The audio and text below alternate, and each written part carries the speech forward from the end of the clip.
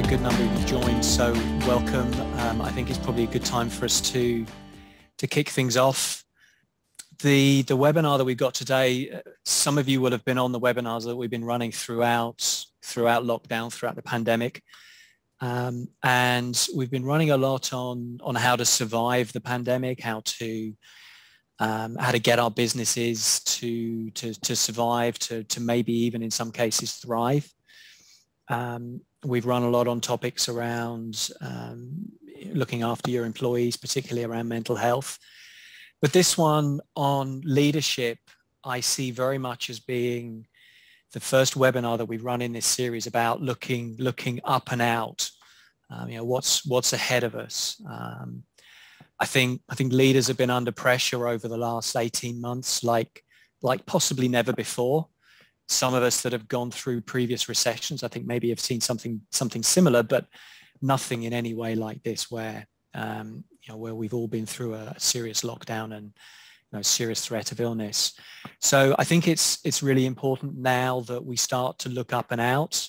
Um, Ian and I have known each other for a long time, and I know that very much Ian is all about the role of leadership in businesses and and, and particularly passion for smaller businesses. Um, so this is how to get ahead as things open up. Um, Ian, as I mentioned, we've known each other for a long time. Ian's an executive coach. He's my executive coach. We've been working together, what, for three years, four years? Yeah, uh, yeah, yeah, maybe long time. Maybe longer. I don't know. I always underestimate how long I've worked with people. Yeah, absolutely. Um, so Ian's a say a very experienced executive coach. He's he's got a lot of ex- a lot of business background. Um, he's a TEDx speaker, so he's um, gave a very, very popular talk on on TEDx, which I'm sure we'll touch on. Um, and he's also the author of the book, The Leadership Map, um, which is is sort of is, is kind of we're going to use as the framework today for for the content. Oh, and I should also say uh, he's got a, a, very popular podcast called the Gritty Leadership Club, and, and grittiness or grit is something that we'll touch on later. Um, that podcast is with um, with another person that we know well, uh, Ben Wales. So, um, Ian, I've given you a little bit of background. Give give us something about yourself. Well, um, married with two grown-up kids. Um, uh, I'm at that stage where they're both leaving home. They're 19, so they're going to university, which is always a sad part of our lives. Um, but I spend most of my my, my days with leaders. so some of the stats uh, make me think I'm probably doing too much, but then when you love something, it's uh, hard to stop things. So I coach about 40 leaders, CEOs, key executives. Um, in the last two and a half years, um, speaking to Vistage, which is groups of CEOs and key executives, I've done about 90 speaker workshops, um, which, which, which is three, three hours in length on all subjects around leadership. Uh, as you said, I do the I do the podcast with Ben Wales. I blog every month. Um, uh, and I do leadership programs. At the moment, I've got three leadership programs uh, running across uh, different companies, uh, all SMEs, and uh, one new client just opened up in Singapore, which is really interesting. So loads of stuff around leadership and, and, and like many, I'm sure on the call, I spend a huge amount of time also absorbing and growing myself because the thing is with this subject, you, you never know it all. And the, and the more you know, the, the, the less you believe you know. So, you know, absorbing podcasts myself, reading, watching, um, and trying to trying to grow grow my knowledge of this interest, really interesting subject. Yeah, yeah, absolutely. Good stuff. All right, brilliant. Thanks for that. A um, couple of bits I, I forgot to touch on in the uh, in the housekeeping.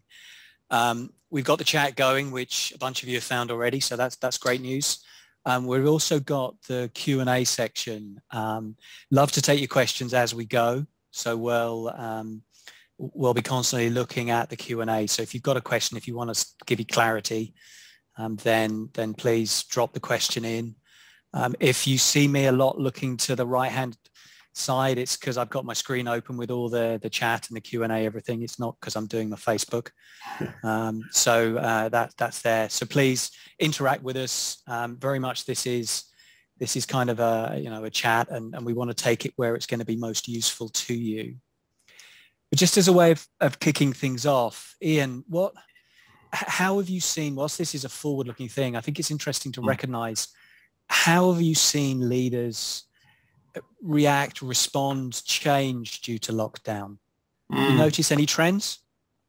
Um, yeah, I noticed trends kind of they changed through through lockdown. I think um, when people went into lockdown, uh, it was really important for leaders to grasp what was going on, as Jim Collins would say, the brutal facts, you know, what's happening. And I think some people got caught off guard. Some people were really up to uh, what was going on um, and to create scenarios about what, what might happen to their businesses and then react uh, accordingly to one of them, engage their senior leadership teams uh, and engage their whole organizations. I think the ones who communicated really well and of course, it became a different form of communication, didn't it? It became this sort of communication over screens, which is you've got to work a, work a lot harder. I know I did a lot of presentations on Zoom, and it was way harder to do this and engage people and know they're engaged with you. So I think leaders leaders had to get used to that. I think they put a lot of technology in if they were smart, and, and, and they looked at home working.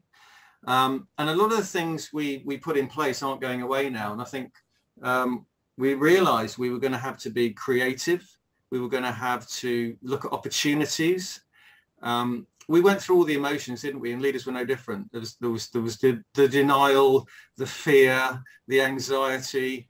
Um, and as leaders, the best ones came out and were as clear as they could be about the situation we were in, how we were going to manage it, where we were going, that our vision was still valid, that we had a real underlying purpose, that we were going to work according to our values and they created some assurance for people. People needed that because uh, for a lot of people, and, and there is still that going on now, of course, and I've been talking a lot to, to groups this week about the fact that we're kind of coming back we feel we're coming out of the pandemic, but we're not really. The pandemic's still there. The COVID's still there. It's not going away and people are still anxious. So there's never been a more important time for leaders to communicate, to have clear messages, to, um, to, to, to really reiterate where we're going as a business and what we're trying to achieve and get them back to some of the basic things. Um, and so, yeah, I see I see the best leaders doing that. They've taken their people with them. Uh, it's extraordinary what some leaders have done. I've seen I've seen leaders come out of this. A lot of leaders come out of this in a better position than they went in, and and and that makes no sense when you think of some of the challenges we've had. And you know, uh, I, I, know organizations where they furloughed 900 people out of 926.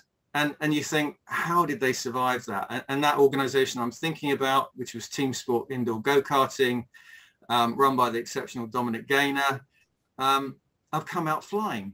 And um, because of his exceptional leadership, you know, he did exactly what I said. He, he scenario planned, he put videos out there to his teams, he constantly communicated. He kept people in touch and constantly, constantly, constantly kept people focused on where this business was going and reassured people. Yeah. Yeah. I think it's fascinating that the, the biggest change that we made to get into lockdown was forced on us. So it was change management overnight and we yeah. made that massive change. But now the challenge is actually how do we come out? Yeah. And there's going to be no forced coming out. So um, yeah, absolutely. I take that. But the, the, the term, we, we've used the word a lot, leadership. What, mm. what, what is a leader? Is it nature or nurture? Is it introvert, extrovert? What's the difference between a leader and a manager? There you go. Throwing a whole load of questions at you. Pick whatever you will from that. Um, so I think there are a few, might I say, natural leaders. Um, uh, that doesn't mean they can't learn and grow and become better leaders. I think that's what every person needs to do. I think most leaders I work with, I'm very privileged to work with a lot of leaders. Um, one day they're a manager and they get trained in management. Lots of management courses they go on and which are very about controlling things and running things and operationals and uh, um, P&L and balance sheet and all that stuff. Then they're then they're promoted maybe to a head of a team, head of a department, maybe CEO and they sit there and they go, what am I supposed to do? Which is what I did when I became an MD of a company uh, back in 97. And I thought, what on earth do I do now? You know, I'd done an MBA, but that didn't help much. Um, and I think that's the thing. I mean, if you look at people like Peter Drucker, they've kind of defined the two, management and leadership. And management's about the sort of control and making things happen, implementing things. It's it's quite left brain. And leadership tends to be more about the vision, being creative, challenging the status quo, developing and growing the people around you. You know, those are the sort of traditional ways of dividing the two. In terms of introvert extrovert, I mean that's an interesting one. I think you'll probably find, you know, if I sit with the, the groups I work with, they're probably split 50-50. I don't see any advantage to being an extrovert necessarily as a leader versus an introvert as a leader. And, and if we look at the kind of science behind introvert extroversion, um, you know, introverts tend to think things through a lot more before they say things, and extroverts tend to say things while they're thinking things through. Um, and uh, there are a huge number of introverts who are really successful leaders. I, I, think, unfortunately, in the press, we kind of focus on the extroverts because they're the ones that tend to get our attention. Um, but no, I think it's really split down the middle. Split down the middle. Yeah, absolutely. Okay, good. Look, let's let's dive into um, some of the concepts around the leadership map. Now, if I understand it correctly, the, the book was very much your your way of distilling everything you've learned over the years and the examples and the the, the, the, the things you've seen in practice about what what makes a great leader, maybe actually how to become a great leader. And I see we've got a question in, can leadership be taught? Uh, you know, is it is it innate? It, and it's a it's a combination, I think, isn't it? It's it's a bit of both. Definitely. And cool. if yeah. I see your, your book, it's sort of a way of saying, right, let's bring bring a whole bunch of tools, a whole bunch of examples into one place so it can be very much a, a, a reference guide. Um, and the, the, the start of the map, the start of the journey is what you call the, the strategic decision filters. Yeah. Um, so what, what are they? What, how, how does it, how does it begin? Yeah. Um, so when I, when I started putting the book together, I, I, wanted to figure out what's the order. You know, what what comes first? If you're starting a business, what do you what do you need to put in place first? Um, and um, so I, that's why I put these four together: um, purpose, vision, values, and strategy. And uh, why are they strategic decision filters? Why do they call them that? Because when they're in place and you're very clear, they help you make decisions. So let's start with the, the first one, purpose.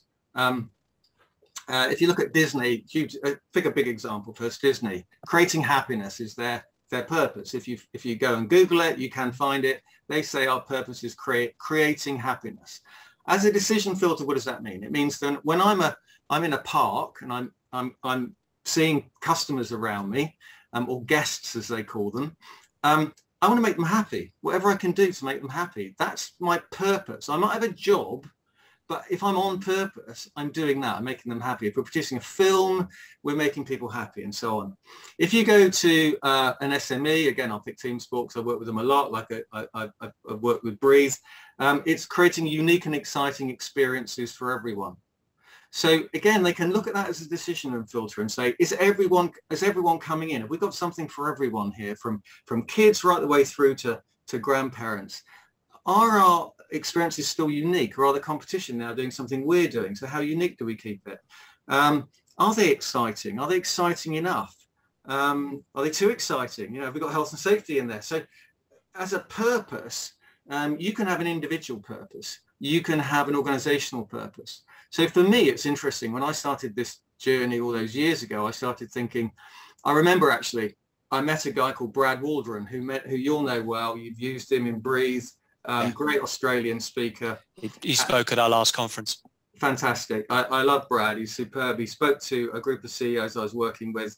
And at lunchtime, I sat next to Brad and I said, uh, that was a great session, Brad.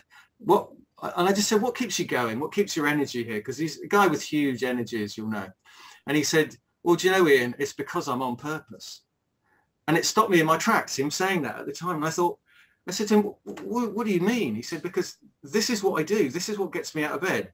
And if you think of being a nurse or a doctor or a fireman, you automatically think they're kind of there on purpose. They had a purpose. You know, my, my nephew, he wanted to be a pilot from the age of four. He is now a pilot. So he feels totally on purpose. And, you know, it made a big difference when I started to put my world together. I think, what do I do and what sits at the heart of it?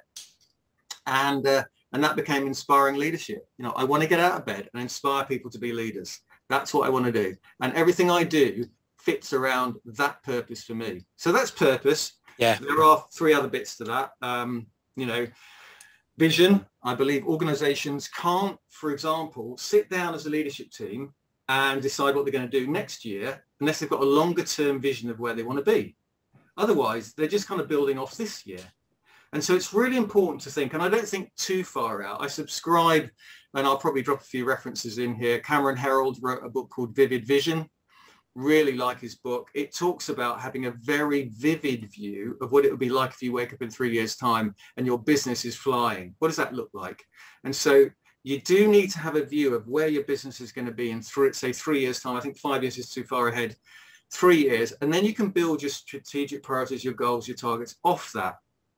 Um, values, obviously, Breathe have got a great set of values, growth mindset being one of them. I think they're often we talk a lot about values, you know, the heart of a business, the culture, the DNA, and we have to live it. We have to recruit on it, induct on it, appraise on it, do our one-to-ones around it. You know, the behaviors are so important. and then finally, strategy.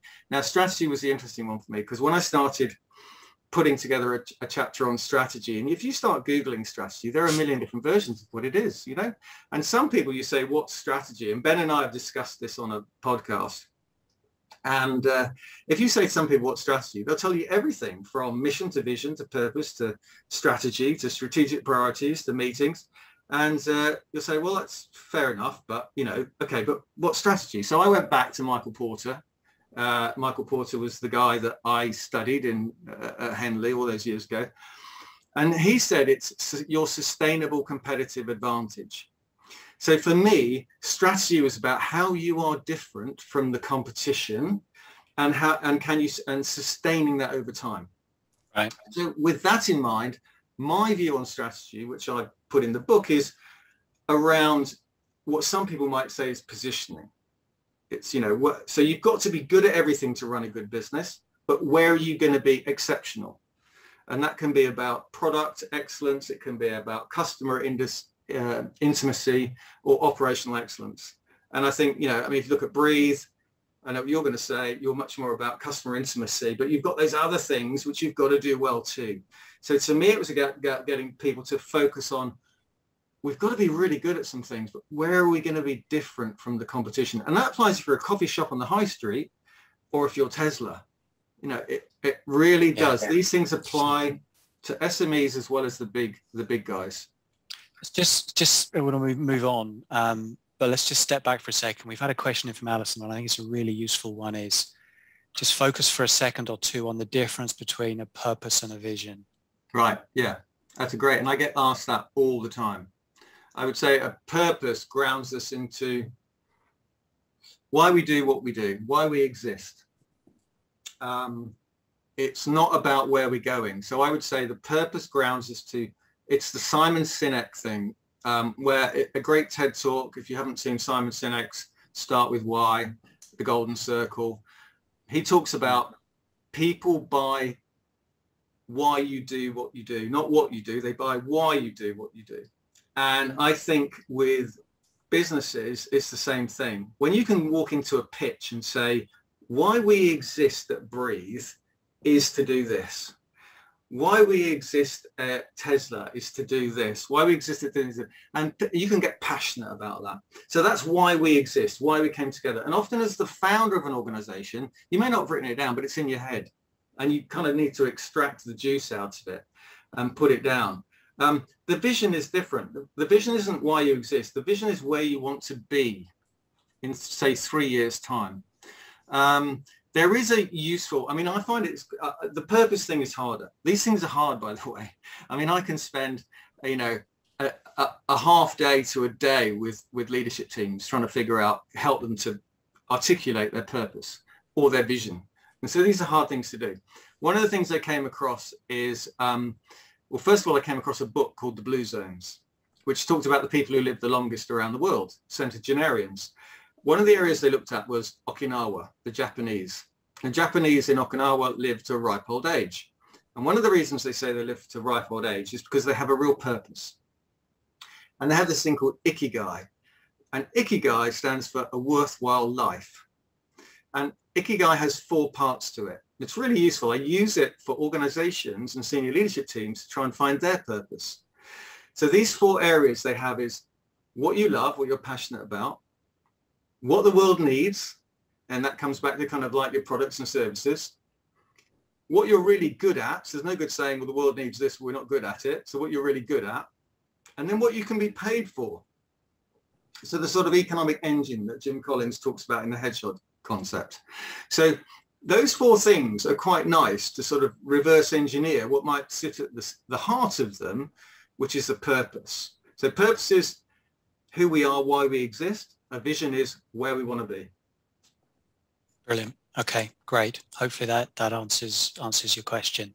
And it, you know, I think I think just to wrap up this part of the section, I I personally found that it's okay not to know what your purpose is. It's okay not to know what your vision is. Maybe even not to actually have written down your values, so long as you're on the on the road to finding them out, to to writing them down. And we at Breathe, we've we've been through in the, the, the years we've existed, we've been through a number of different versions of mm. um, of, of, purpose and vision, and our values have changed as we've grown. They've, they've um, they haven't changed drastically, but maybe we've refined them, we've honed them, uh, we've developed as we've grown.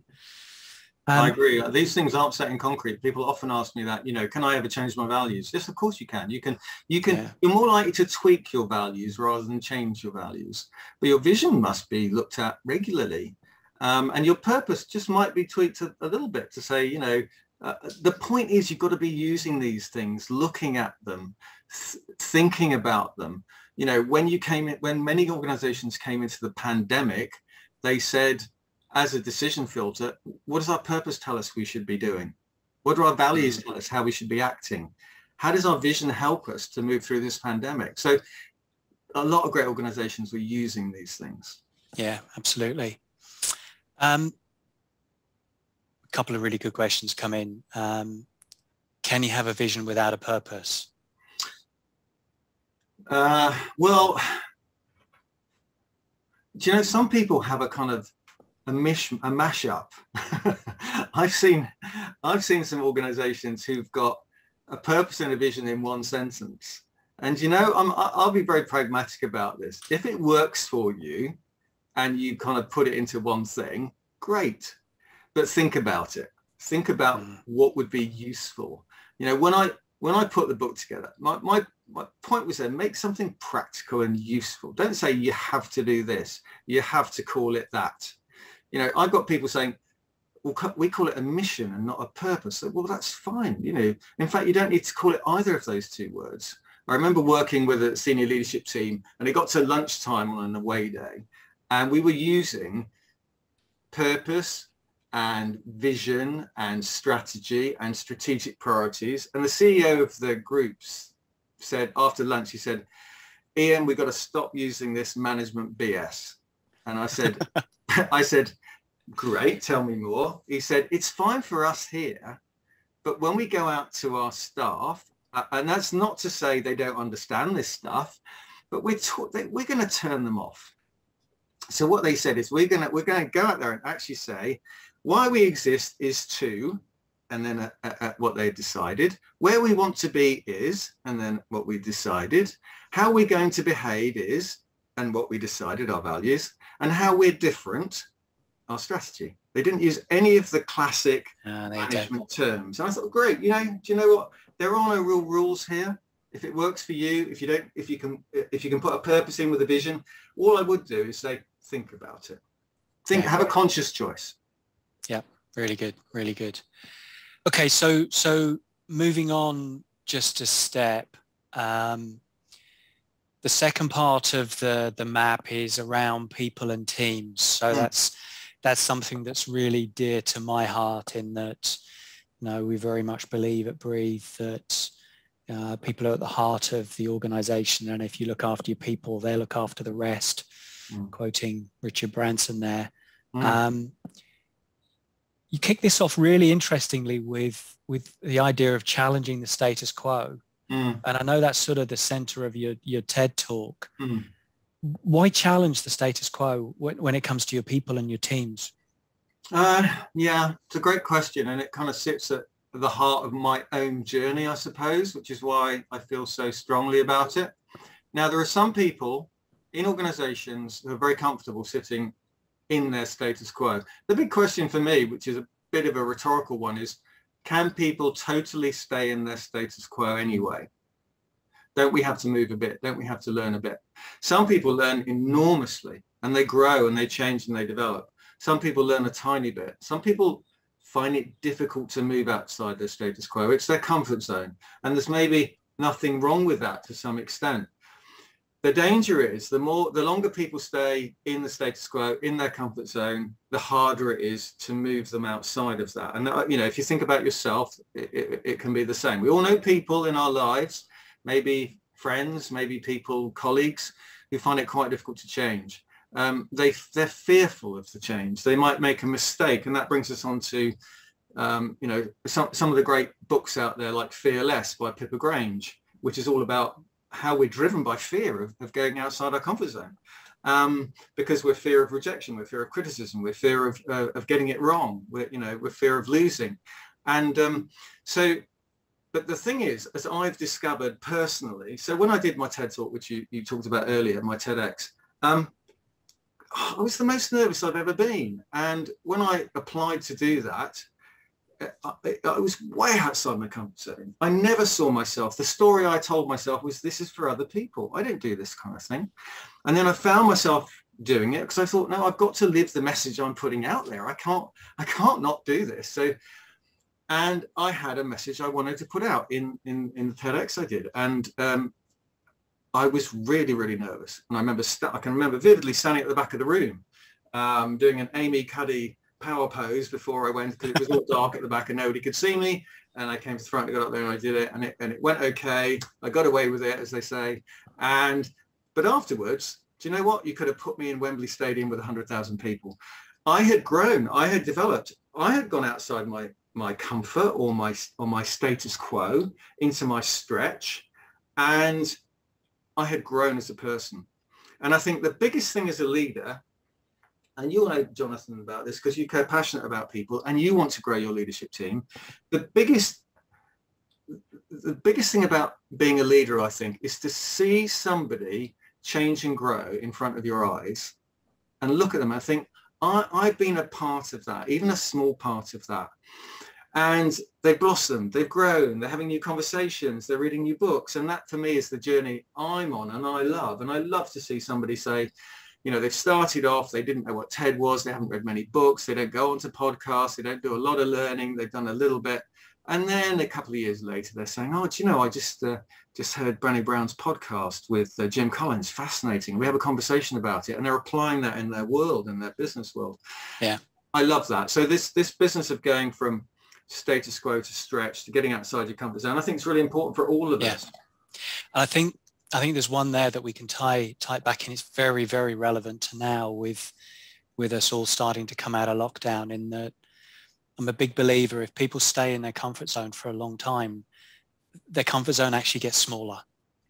So if we're all locked down and in our houses, and albeit working from our houses, um, it's very real. People are not used to doing the things that two years ago they'd have thought nothing about.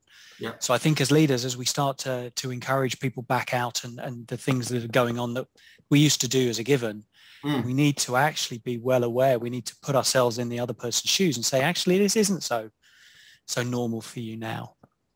Yeah. Um, and the only way they're going to do that, I think, kind of building on this, and it, it ties into the the vulnerability and the trust and all those other things I've spoken about is you've got to create a safe safety net for people. You know, if you're a leader, you can't just expect people to jump and, and do things which are which are way outside their comfort zone. They won't do it unless you've created this this safety, as Simon Sinek talks about a lot, this sort of safety for people. Um, uh, uh, and you're going to create that through developing trust and having great conversations with them and feeling they've got their back and not criticizing people when they try something and they maybe fail. Actually, the way yeah. that's just feedback. Um, so you have got, you know, people won't just do this on their own. There's a question come in um, from from Lawrence. Why are we always trying to push employees out of the box or out of their comfort zone? Now, why are we obsessed with constant change? Um, if we've got people who are happy to stay within their comfort zone, isn't that okay?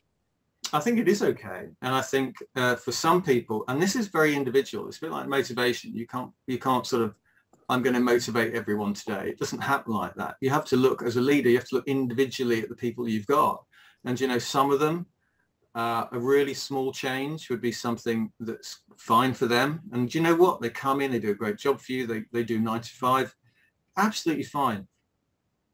the the anxiety can step in as if they think they're supposed to step outside their comfort zone or they're supposed to be stretching themselves or they're supposed to be doing all this stuff and so it's it's an individual thing uh, and, and lawrence is absolutely right for some people they're so driven to want to keep keep stepping outside the comfort zone and do more those are maybe your A players who you've really got to have a plan for and you've got to help them get there and give them more challenging jobs and they'll really grow your business. But uh, I, I completely agree with, with what Lawrence is saying there, which is you can't have an organization with everyone constantly running around getting outside their, their comfort zone or, or, or the status quo because it would be it would be chaotic. And but the good news is you won't find loads and loads of people who want to do that.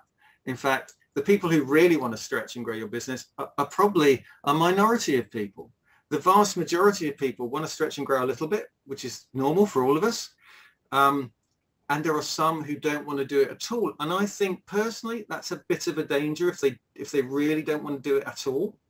I think even small changes, small bits of growth, you know, re- reading a bit here, listening to a blog over here, before you know it, you've got new concepts, new ideas.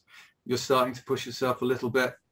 So I think it's um, it is a bit dangerous kind of at that end if people aren't growing at all. But I agree with the sentiment. You know, most people in organizations grow a little bit and there are some who want to grow a lot. And they're the ones who probably help take our organizations forward much faster. Yep. Yeah, no, I get it. But but great, great question and, and very valid. Mm. Um,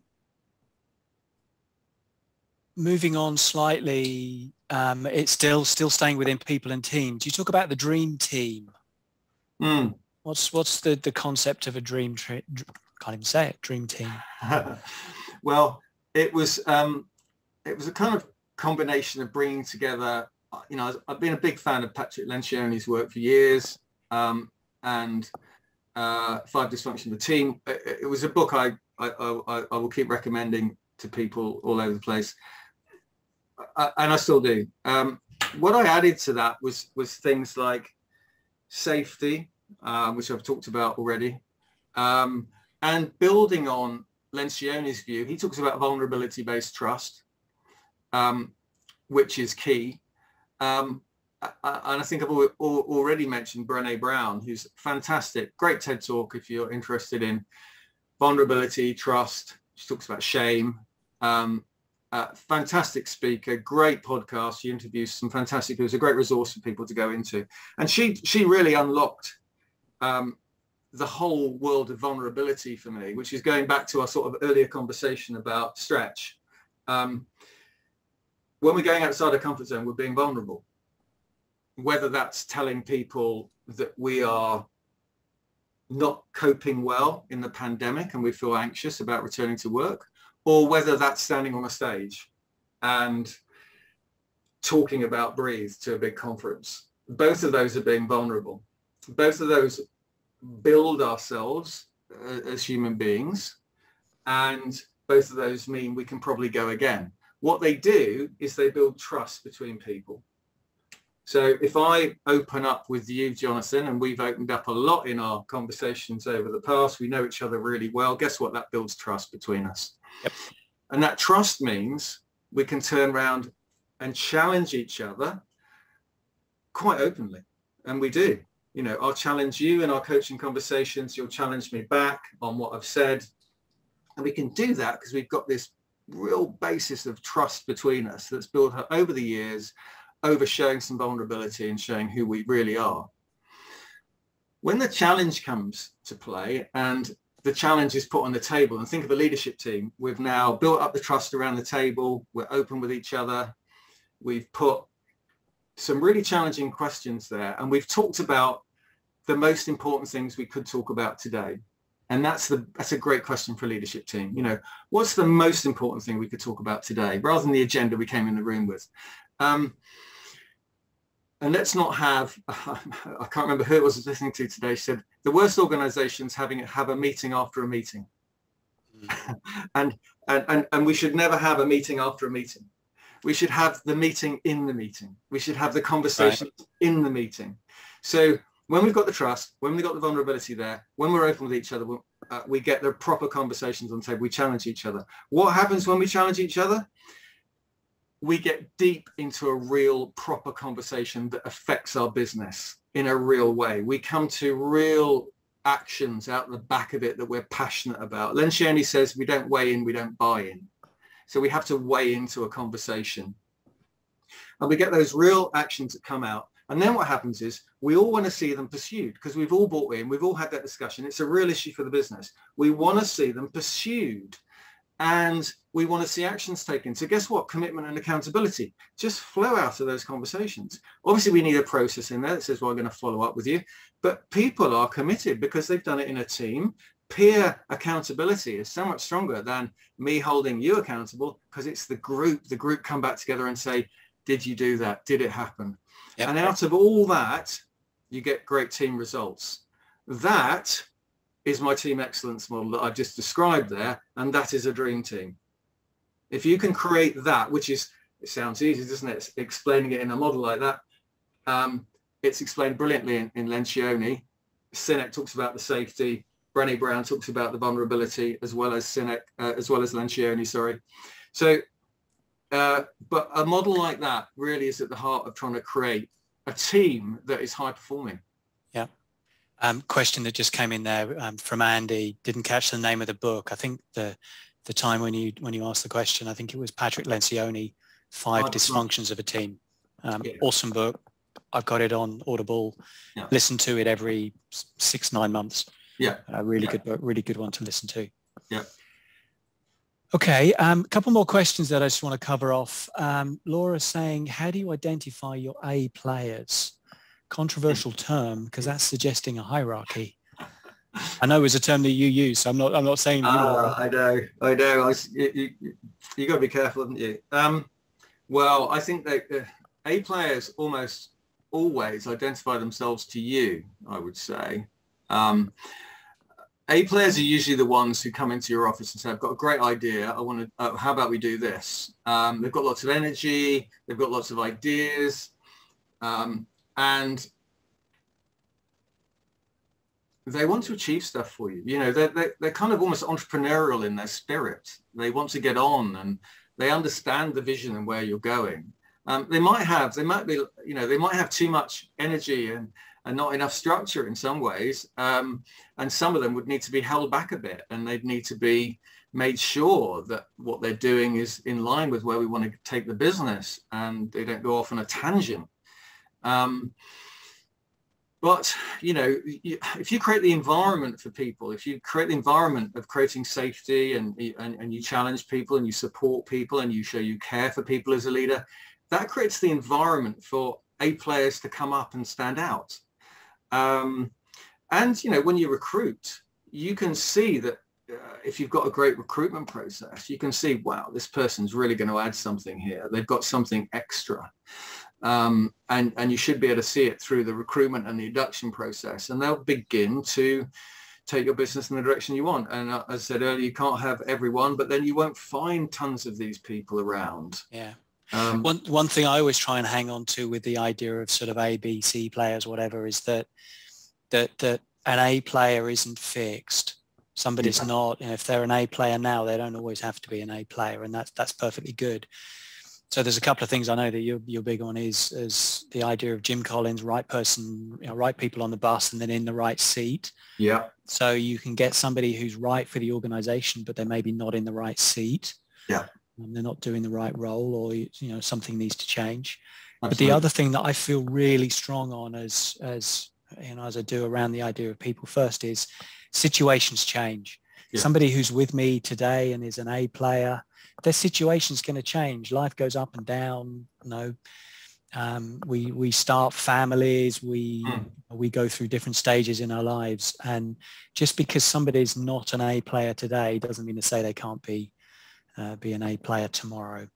Um, Absolutely. So and B players become A players and A players become B players and C players, if we're going to go that far, who maybe aren't performing very well, they may be a bit dissatisfied, they may be a bit demotivated, they may be spreading disharmony. Do you know what? They can become A players too.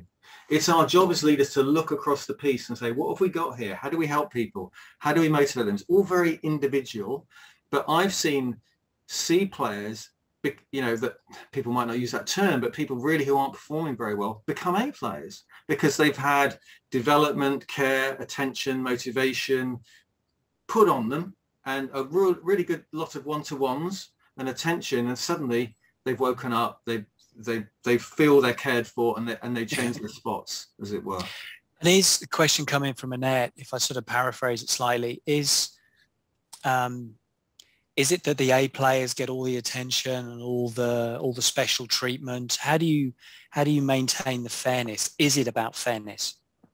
Um, yeah, it's a great question. I mean, I, so, so to be honest, you're not going to get a huge amount of A players, I don't think, in an organization, but you do need to have a plan for them. You do need to manage them and lead them carefully. You do need to have one-to-ones with them because they're going to make a difference in your organization.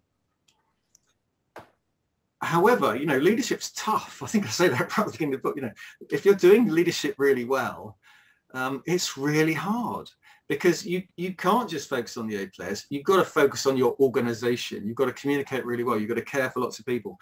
One of the things as a leader, you, you can't have too many people that, that directly report to you. You know, that's another. I'm working with a company at the moment and the CEO's got 11 people reporting to him.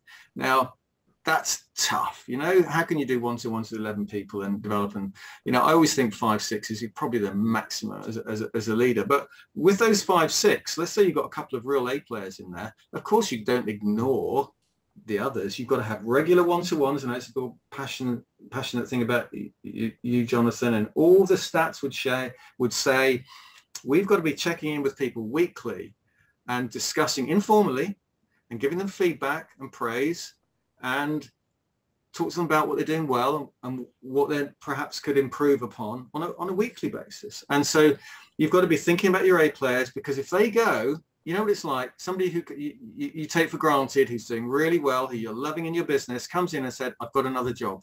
Because the thing is about an A player is they can go and work for lots of people. They're really good. And so financially and strategically, you don't want to lose too many A players. So you have got to pay attention to them. Yeah. But that doesn't mean you don't pay attention to the others. You know, you've got to do both. You've got to do the, you've got to do both as a leader.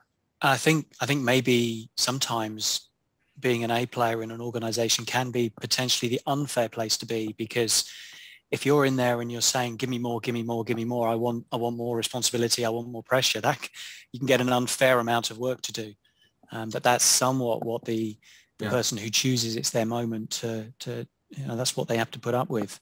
Yeah. Look um so much to cover again. You, you touched on the subject of one-to-one which sort of takes me on to um, onto the idea of of meetings. Mm. um, which you know every um, every organization they have their meetings and uh, meetings good or bad? Start with that question mark yeah, I mean, meetings for an awful lot of organizations are awful places to be in. They just, that you know, and I always say the interesting about meetings is, and I, when I, I, I, we were chatting earlier, and I said, I said to you, I just ran a full day workshop with a leadership team on how to run meetings. And I started off by saying, this is not a sexy subject, but it's so important and we ran the day and I got great feedback and they're implementing a lot of stuff. So meetings aren't done well in a lot of organizations. Why is that? I don't think people are trained in what a good meeting looks like. I think the danger is one day you're in meetings and your boss is running them and that's how you think meetings are run. And if they're, if your boss isn't running good meetings, you're kind of like, there's my standard. It's like, okay, well, that meetings aren't necessarily good then. And so you carry on. But actually, there are frameworks, there are tools, there are techniques, there are ways of running a meeting the best bit of advice I'd ever got about a meeting, and we can talk about meetings all day as I did recently. Um, there are all sorts of types of meetings you should run from tactical to strategic, and you should never mix tactical and strategic together. And you've got daily huddles, and you've got weekly tacticals, and you've got monthly strategic, and you've got offsite retreats. So there's lots of different meetings. But probably the most interesting about me is how do you run a great meeting? For most people, they go, how do I run a great meeting? And the best bit of advice I ever got is uh, a meeting should be like the best Bond movie you ever saw. Okay. Now, now, that sounds a bit weird, right? But let's think about it. a Bond movie, what does it do? It starts with an action sequence, right? So Bond is in a helicopter above Mexico City fighting a baddie. And, you know, it, it, the, the helicopter's going upside down and it's going all over the place. In, in the end, Bond kills the baddie, falls out the, the helicopter, he lands the helicopter. And the next bit, he's back in London talking to M, who's giving him a telling off. And the film starts. What's happened? It's got your attention. You're right in it. Where's this going to go? This is really interesting that's how your meeting should start. Not with a helicopter above Mexico City, but they would should start with a bang. They should start with something interesting. Don't start with, let's have a look at the figures from last month. Because people are going to go, oh my God, why didn't you send out the figures from last month before you started the meeting? Let's start the meeting with an interesting fact or a customer story or a product we're launching, something that's going to engage the audience in that room. And then let's make sure why we're having the meeting. Let's be sure of the purpose of the meeting. Let's be sure on the agenda of the meeting. If you've got introverts, we talked about those earlier, didn't we? Introverts versus extroverts. Introverts hate not having an agenda. It freaks them out. They want to know what we're going to do when we come into the meeting. So you need some sort of agenda. It might be not timed, but you need an agenda. You need the purpose for the meeting. You need to know who's going to be in the meeting. Normally meetings have too many people in. Steve Jobs was brilliant about saying, why are you in this meeting? Oh, my boss told me to come. Well, you don't need to be here. You can leave now. You know, you can pare down meetings. As a leader, here's a really good tip. Don't go to every meeting you're invited to. Go to the start. Go to the end. Don't go to it at all. Ask for the person who ran the meeting to come and tell you how it went and what the action outcomes were. So it's time. We don't get any more time as a leader. Think about how you're spending your time and think carefully. Great book on meetings, Patrick Lencioni, Death by Meeting. Fabulous book. Give you everything you need to know on running a meeting. Yep. Yep, absolutely. And it, there's a question came in a while ago from from Michael. Um, what do you think is the most important sphere to be excellent at? I've been trying to find a place to slot that question in. Well, well, as a leader, know, but yeah, being being excellent at meetings, I think, and actually maybe broaden it a little bit. For me personally, it's all about focusing on your people. If you can be excellent at, at being with your people, as walking a mile in their shoes and understanding where it's going, then um, then you're perfectly positioned to actually um, to, to to let them run the business for you. Absolutely, I think you're right. I think the people skills are the big thing, and if you look at how much time you spend as a leader dealing with people issues, people development, growing your people, challenging your people. It should be a big chunk of your time. Yeah. Um, yeah, the yeah. other thing I, I, I, would say to balance that is every leader I've worked with who's, you know, the head of a team or the head of an organization will not have every skill that we talk about. And the key thing about a leader is knowing to get that personal people alongside them with the complementary skills that you don't necessarily have in abundance. Um, that's really critical. I had somebody say to me the other day, I'd love to be a CEO one day, but I but, but I feel I'm really good at strategy and finance. I'm not so good at the people stuff. And I said, well, the fact you've recognized that's great because you can start to grow that.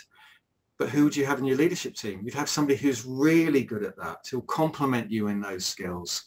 Yep. And so look at any of the great leaders around the world, they don't have everything.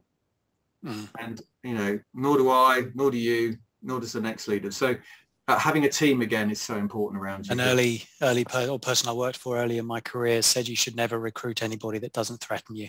Yeah, great advice. Great so, advice. Look, um, time is time is romping on, and there's there's one more, couple more bits I want to get into. A little bit on grit, because you know your podcast called The Gritty Leaders. Mm. Um, I guess the reference there is to the bit of grit in the in in the oyster. Is that right? Where, where... Yeah, we wanted to have a, you know, as we do, Ben and I never agree on anything. Um, so we wanted to have a bit of a bit of grit in there. And I think, you know, leadership is, as I said, it's tough. You've got to be really resilient. You've got to want to be a leader. You know, this is this is tough stuff. It's a tough journey. Um, you've got to build up resilience. Um, passion and per- perseverance for long-term goals is what um, Angela Duckworth, great TED Talk, great book, um, describes grit as. An awful lot out there about grit and resilience now, and we kind of, I think as leaders, we kind of feel we should have it, you know.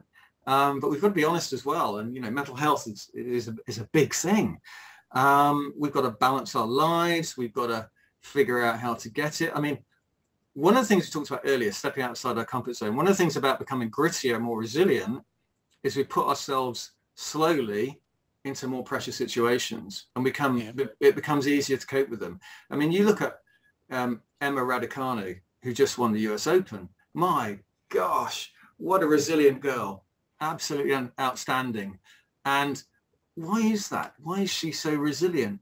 Well, she's probably been through this this high stress all her life. Um, and then look at the lesson she learned at Wimbledon. Yeah, absolutely. And that was crucial because she knew at the time she had the, the self-awareness to go, stop, step back. And she clearly had a lot of people around her looking after her because for some people that would affect them deeply for a long period of time, but she bounced back relatively quickly and then she won the US Open. So resilience is something we've got to notice in ourselves, but the more we push ourselves, I mean, the kind of it, in our own time, and I've, I've, talked about this, not everyone can push themselves massively at our own pace as well, the, the grittier we'll become. Um, but going back to Angela Duckworth's definition, long-term goals, if we really want to get something in our life, we tend to get through things on the way to that vision. And that goes back to why you should have a vision, because you can sit there with your leadership team and say, we've said in three years time, we want to be this big, this great, this bold, have these many products, these many services. Right, guys, how are we going to get there? And suddenly you find ways, you're creative, you move towards that and things and you get problems along the route you get challenges along the route and then you figure out how to overcome them because you desperately want to get to that vision and for people like emma raducanu and individuals we need our own vision of where we want to go to and the grit the resilience we build up along the route and the care and attention and the people around us who support us and we need all that really important as a as a leader to notice that in your people too you know have are they coping especially now so it's a big it's a big deal, you know, this grit and resilience stuff, and leaders need it in abundance.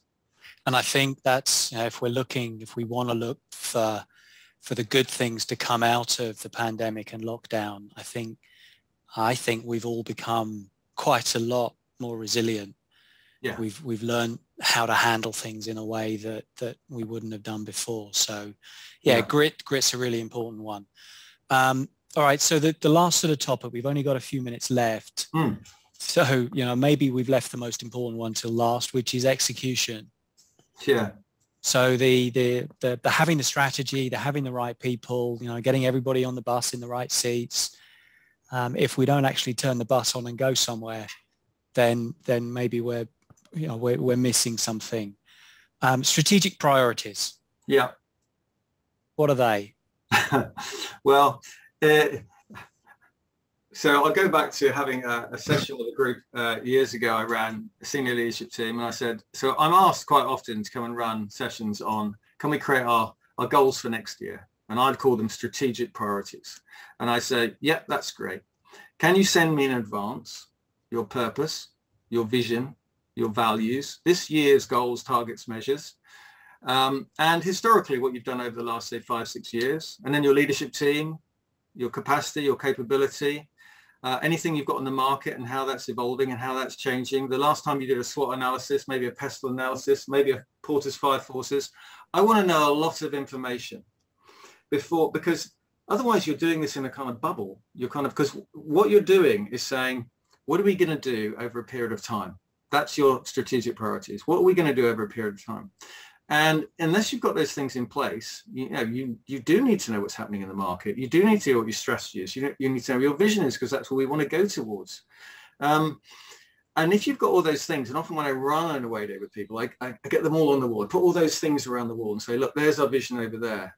Here's, here's, here's last year's strategic priorities. This is what we've done over the last five years. These are the trends and then you get people in the leadership team to have done a SWOT of strengths, weaknesses, opportunities, and threats. So we can look at our internal capabilities, the external market, the competition, and so on. Within that framework, we can now say, what do we want to do next year? We can have a creative session followed by something that starts to pin it down over several months that says, this is the big projects.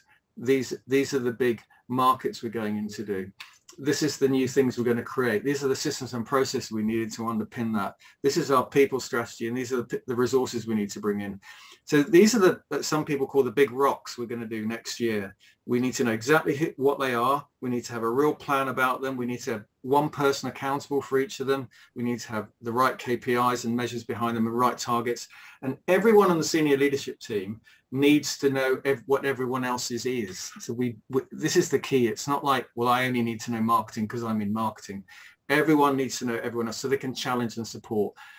And of course, when you've got them created, you need to monitor them through your great meetings every month and quarterly. And then you need to cascade them and engage the whole organization in them so that they can join the dots from where they sit in the organization to the strategic priorities. And that's down to their team leader to help them understand what they do fits with where the business is going. And then they start to buy in and understand it and not see it as kind of disassociated from what they're actually doing. So complicated piece, so important. Yeah, absolutely. And I think the, the, the key piece there that you were explaining it was was it's the link between the the ultimate vision and the person who has to do the work to, to achieve the vision. Yeah. So they they will help you achieve the vision, but they will also need to know what the vision is to know really whether they want to get on board. Uh-huh. Without a vision, every road will take you there. It's that kind of, you know, we could just yeah. do something and it might be good, but may not take us where we want to go.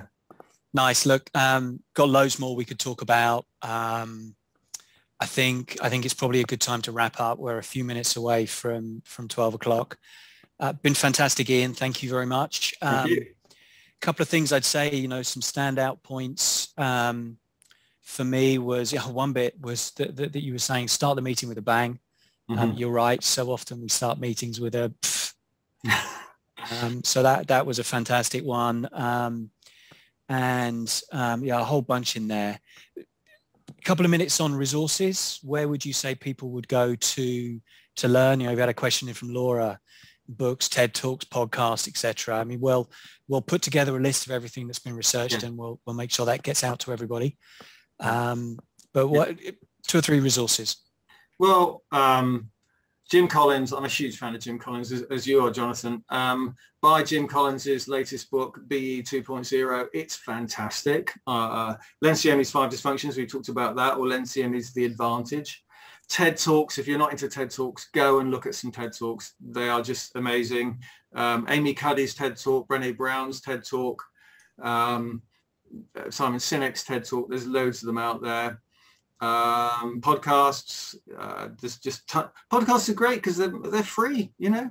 Um, so are TED Talks. Yeah. There's some great stuff there.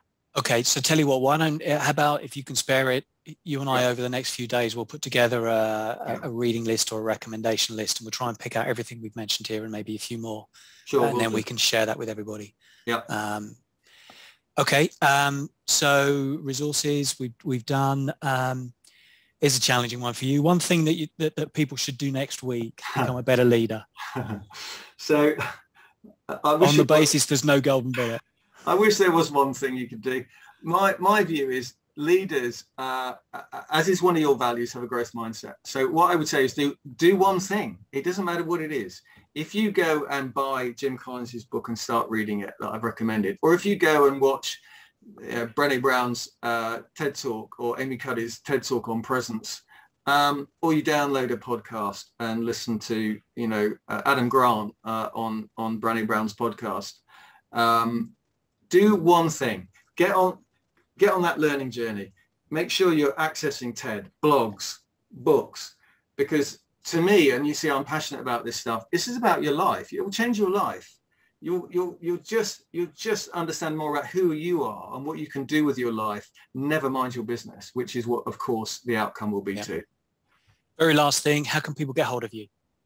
Um, email ian at ianwindle.com or go on my website ianwindle.com um, and yeah just get in touch anytime Love to hear from people. I'm sure you're on LinkedIn, and then there's the the Gritty Leaders yeah. Club, the podcast. And... I've got the podcast and the blog. It's all it's all accessible through my website. Um, so yeah, awesome.